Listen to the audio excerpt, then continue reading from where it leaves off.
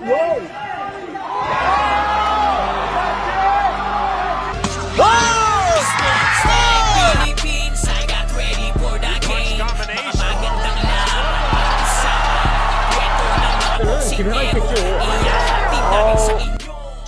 Ang pagiging undefeated ay hindi lang ang basihan upang masabi natin na magaling talaga ang isang boksingero.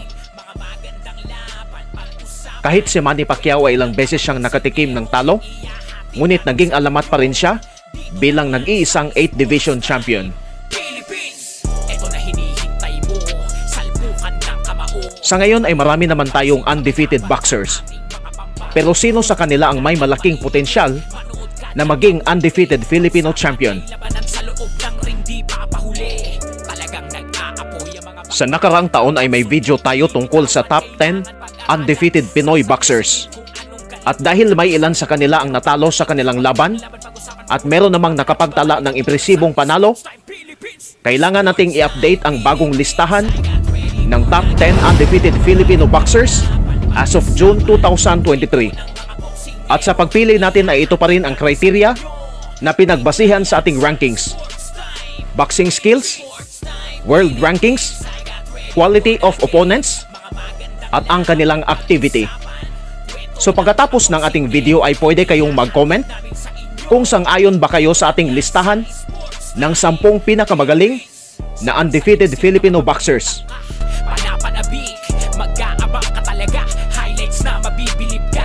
Dito dapat lakas ng loob. Dala ang banderang di papatao. Pambatong lakas ng mga Pero bago tayo magpatuloy, huwag niyo po sanang kalimutan na mag-subscribe sa ating YouTube channel click the bell for all notifications para updated kayo kapag may bago kaming videos. At please don't forget to follow our Facebook page, Sports Time Philippines.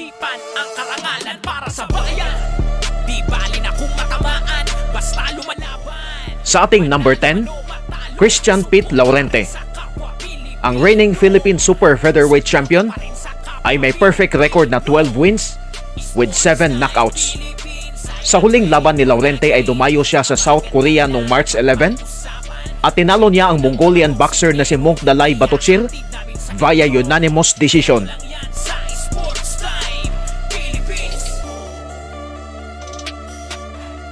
Nakuha niya ang Philippine Super Featherweight title noong November 2022 matapos niyang patumbahin sa unang round lamang si JR Magbuo Tinalo rin ni Laurente si Richard Bulacan via unanimous decision noong June 2022. Mga boksingero Iyahatid namin sa inyo Malaki ang potensyal ng 23 anyos na boksingero mula sa General Santos City dahil meron siyang lakas at maganda rin ang kanyang boxing skills. Kailangan na siyang subukan sa mas dekalidad na mga kalaban upang unti-unti na siyang makapasok sa world rankings. So pwedeng ilaban si Laurente para sa Asia Pacific Championship upang masubukan siya sa mga magaling na boxer dito sa kontinente ng Asya. Pero bago tayo magpatuloy, sa mga nagtatanong kung saan pwede makatalpak sa NBA Finals at sa mga laban sa boxing, narito po ang legit na betting site, ang 1xBet. Mag-register lang by clicking the link in the description and comment section. Gamitin lang ang promo code na SportsTimePH upang magkaroon kayo ng tsansa na manalo ng bonus na 7,000 sa una nyong deposit.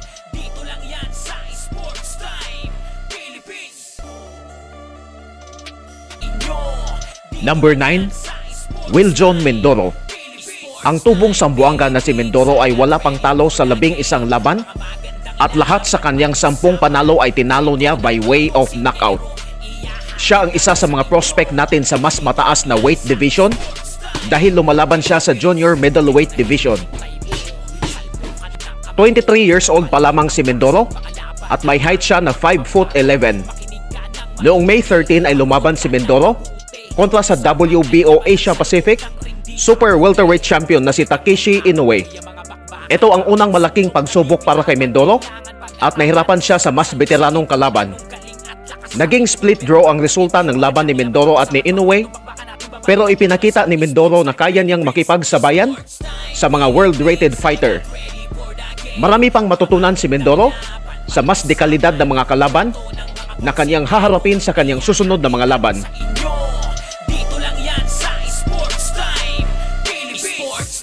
Number 8, Leonard Sarcon. Sa huling laban ni Sarcon noong September 4 ay dumayo siya sa South Korea upang labanan ang undefeated at WBO Oriental Featherweight Champion na si Jong Shon Kang. Pinabagsak ni Sarcon ang Korean boxer sa round 3 at nanalo siya via unanimous decision at nakuha rin niya ang bakanting WBA Asia Featherweight title. Si Sarcon ay 23 years old pa lamang at may 10 wins with 4 knockouts. Pero matagal na yung huling laban ni Sarcon at wala pa siyang laban ngayong 2023. Sa latest update ni Silver Voice TV, aprobado na ang US visa ni Sarcon at malaki ang posibilidad na lalaban na siya doon sa Amerika.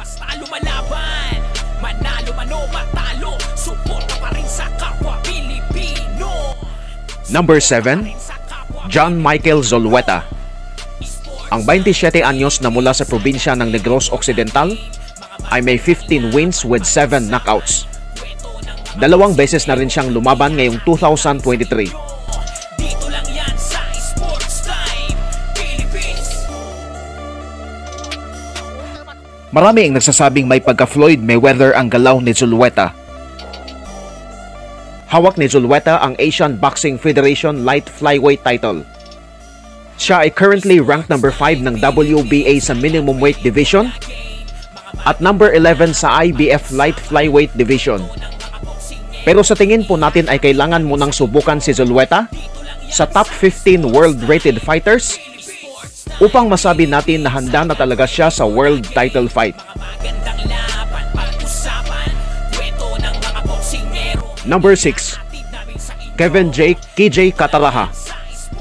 Ang 27 anyos na Cebuano boxer ay may 16-0 record with 13 knockouts. Sa huling laban ni Cataraha ay nakuha niya ang OPBF Super Flyweight title matapos niyang talunin si Edward Heno via unanimous decision. Pero hindi impresibo ang panalo ni Cataraha dahil muntik na siyang bumagsak at pinahirapan siya ni Heno sa round 8 at round 9. Pero magaling at malakas naman si KJ Cataraha. Nahirapan talaga siya sa laban niya kay Edward Heno dahil hindi siya madalas lumalaban in the last 2 years. Aminado naman si Cataraha na marami pa siyang dapat i-improve sa kanyang sarili bago siya lumaban sa world title. Siya ay currently ranked number 6 ng WBO at number 12 sa IBF sa Super Flyweight Division.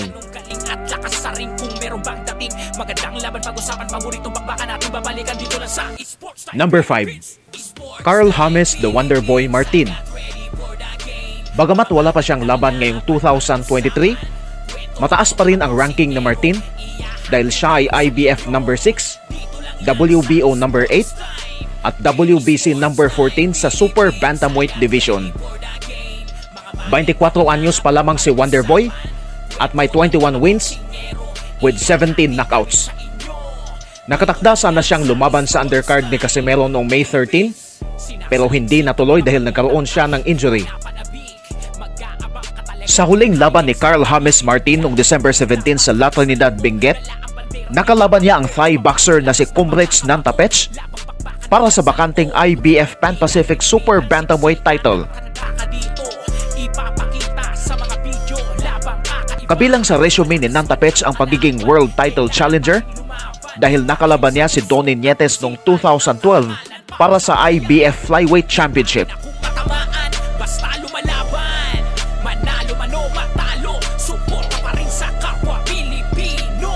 Pero sa kabila ng experience ng Thai boxer, hindi nagpatinag si Martin at tinalo pa rin niya si Nantapech via second round knockout.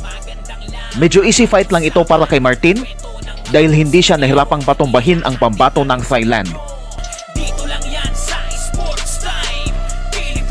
So abangan po natin ang next fight ni Martin dahil posibleng lalaban na siya doon sa Amerika.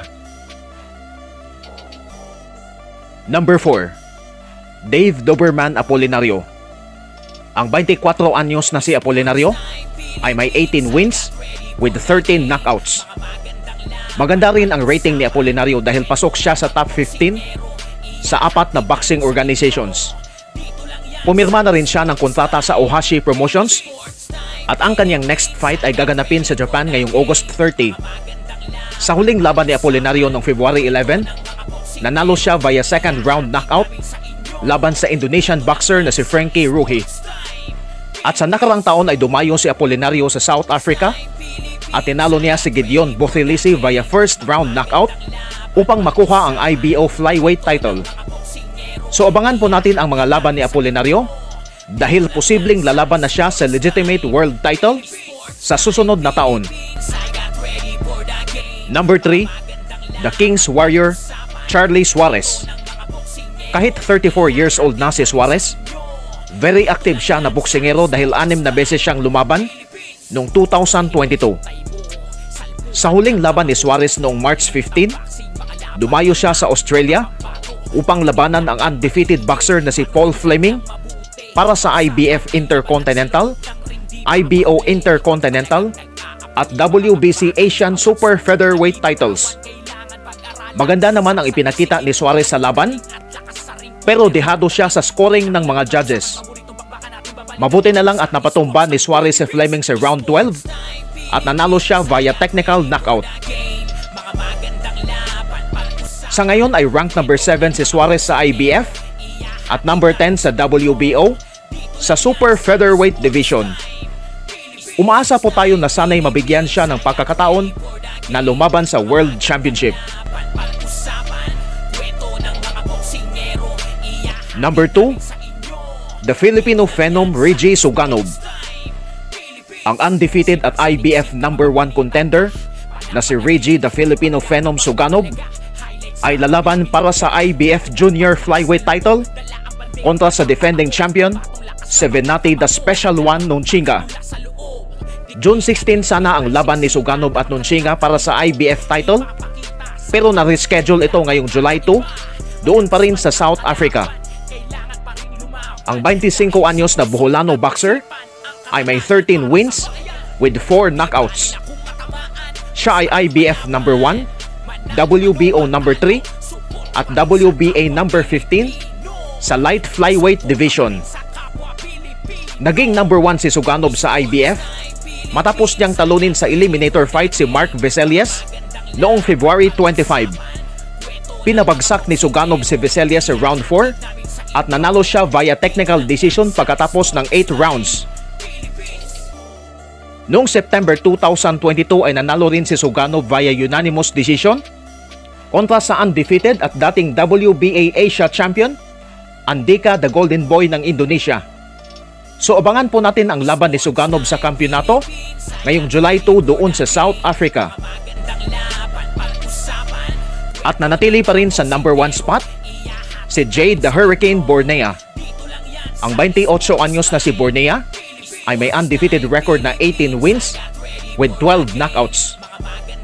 Si Bornea ang IBF number 1 contender sa Super Flyweight Division matapos niyang talunin si Muhammad Ubadi via third round knockout noong January 2022 doon sa Mexico. Tinalo rin ni Bornea si Ernesto Delgadillo noong January 2020 para sa North American Boxing Federation Super Flyweight title. So abangan po natin ngayong June 24 ay lalaban si Jade Bornea para sa IBF Super Flyweight title laban kay Fernando Daniel Martinez. So sila po ang ating top 10 undefeated Filipino boxers sa ngayon.